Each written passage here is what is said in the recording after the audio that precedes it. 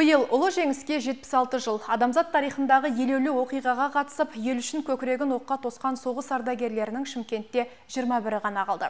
Бахадүр батырларға мерейлі мерекеге орай қандай құрмет көрсетіледі? Тілші әңгімесінде толығырақ.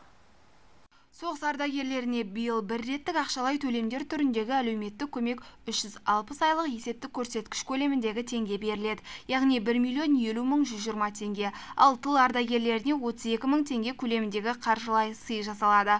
Сұрапыл соғыс жылдары еңбек еткендер бүгінде қалада 3307. Сонымен қатар Ұлы Отан соғысына қатысушыларға теңестірілген 1728 азаматта алмайды. Оларға 105 мың 12 теңге көлеміндегі көмек көрсетіледі. 82 мың ардагеріміз бар қалада. Оларға да әлеуметтік жаңа қолдауға бір жарым миллиард теңгедей бөлініп отыр.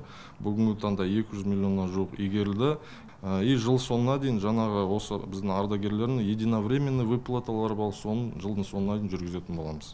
Отан үшін кеудесін оққа тосқан ардагерлерге қандай құрмет көрсетсек те жарасады. Мереке қарсаңында ерікті жастар мен жергілікті билік өкілдері ардагерлердің үйін аралап қарттарға сәлем беріп құрмет көрсетеді. Жастар ардагерлер үйінің ауласын тазалап қолғабыс жасайды. Батырлардың кешегі жылдағы ерлігін жастарға үлгі етіп қандай жағдай болса да отан деген ұлғым екенін түсіндіреді.